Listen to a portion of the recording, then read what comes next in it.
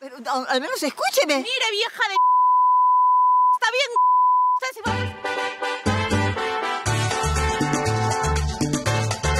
Me harté de ser el niño bueno y. y decidí malograr su relación. Pero, joder, me di cuenta que atrasándote no iba a recuperar a Macarena. Es mucho más joven de lo que creíamos. ¿Qué vas a hacer? Teresa, por favor.